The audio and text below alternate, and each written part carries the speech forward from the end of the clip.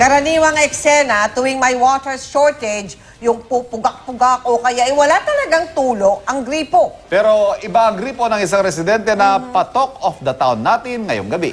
Wala nang maibugang tubig, eh humihigop pa. Gripo po namin, nauuhaw na. Yan, yan, yan, yan, yan. Papainumin ko lang. Tingnan niyo po, ah, dami po niyan. Grabe naman po. oh. Talagang ubos na ubos.